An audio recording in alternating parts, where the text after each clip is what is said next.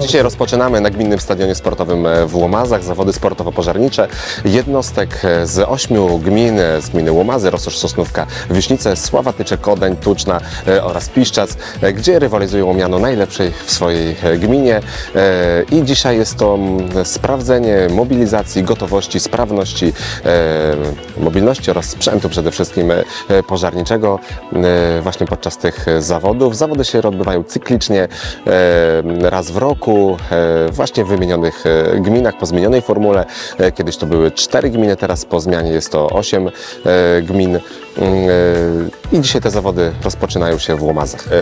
Łącznie dzisiaj startuje 29 drużyn, z czego 26 drużyn męskich i 3 drużyny kobiece.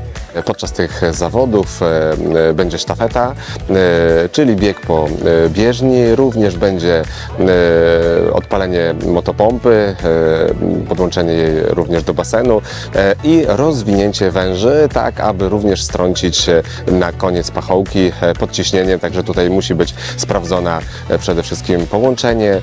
E, Jednocześnie uczestnicy tych zawodów, e, nie wykonując e, zadań e, zgodnie z regulaminem, mogą otrzymać również punkty karne. Także tutaj no, liczy się e, przede wszystkim e, uważność, e, szybkość. No i na tym w tak sposób wygrywa się zawody. Z każdej gminy startuje od jednej do kilku drużyn.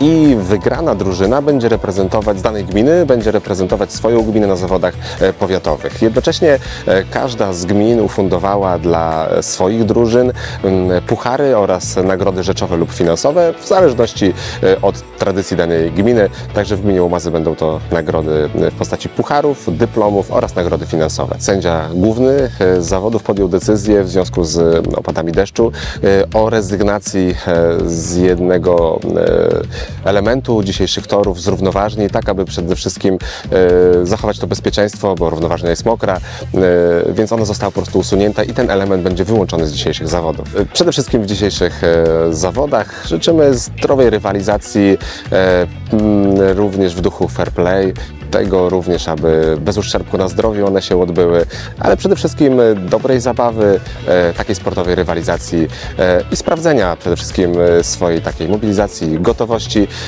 ale również takiej solidarności w jednostce OSP, bo to jest praca i współpraca zbiorowa przede wszystkim. Także życzymy powodzenia wszystkim jednostkom dzisiaj startującym w Łomazach.